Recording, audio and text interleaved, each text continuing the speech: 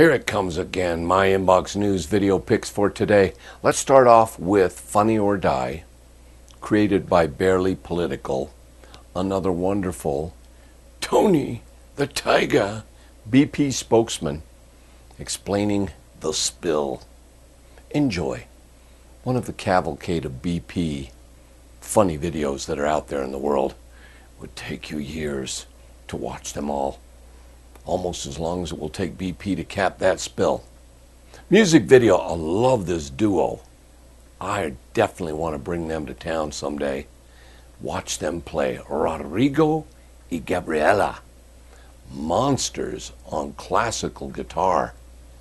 They do not play it classically. They rock and roll with big stacks behind them. This is Hanuman. On this date in history, marvelous things each day happen, and I tell you about them in my video. Today, Oh Canada officially became an entity. On this date, that maple leaf began to flap in the wind. Three quick odd news stories for you in Rhode Island grappling with budget deficits. They are doing what I think every state should do. Don't criticize it, legalize it. I'm not talking about that stuff. I'm talking about fireworks for individual use in small quantities. Come on, let us shoot flaming balls of fire into the night sky. Um, sorry. In Pennsylvania, a gentleman is going to appeal his fine of 600 bucks, stating that all the garbage bags that he keeps in his yard are meant to insulate his organic garden. Fine for junking up his own yard. I like this idea. It's like compost in a bag.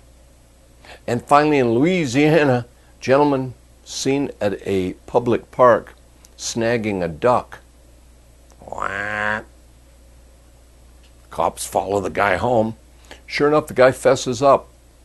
I was going to eat that duck. Times are hard. It's easy picking out there on the grass at the park.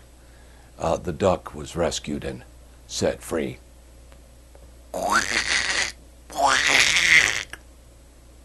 I want to end it on that happy note. My inbox news video picks for today.